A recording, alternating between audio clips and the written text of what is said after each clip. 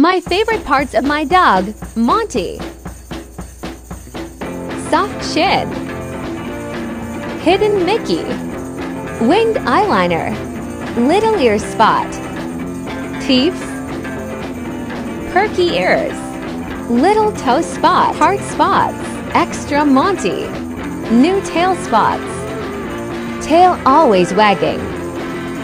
I just love him so much.